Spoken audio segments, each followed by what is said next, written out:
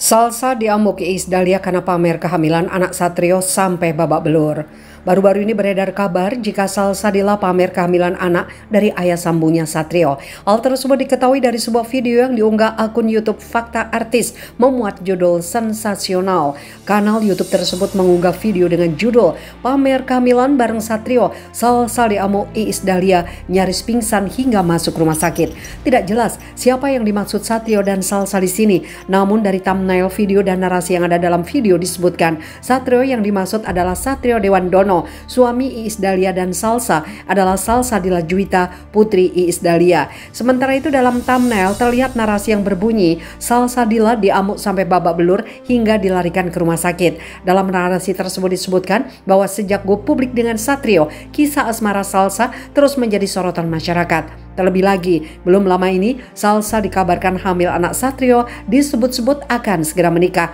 Tidak hanya itu, Salsa juga cukup menghebohkan publik dengan memamerkan kehamilannya sambil berfoto dengan Satrio. Anak Iis Dahlia itu mengatakan kehamilannya sudah memasuki usia 14 minggu.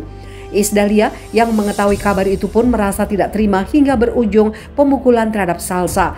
Salsa yang menjadi korban pemukulan mendapat intimidasi dan pemaksaan dari imbudanya dan dokter di salah satu rumah sakit.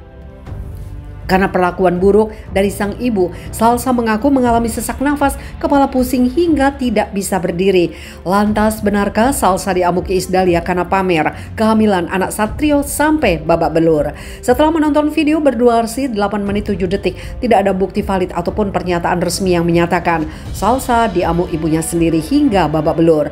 Lantaran memamerkan kehamilannya dengan Satrio. Konten video yang diunggah oleh kanal YouTube Fakta Artis itu tergolong ke dalam konten false connection alias koneksi yang salah berdasarkan penelusuran manado.suara.com.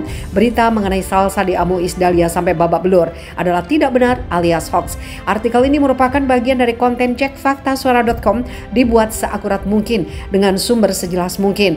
Namun tidak mesti menjadi rujukan kebenaran yang sesungguhnya karena masih ada potensi salah informasi. Lebih lengkap mengenai konten cek fakta bisa anda simak di artikel ini.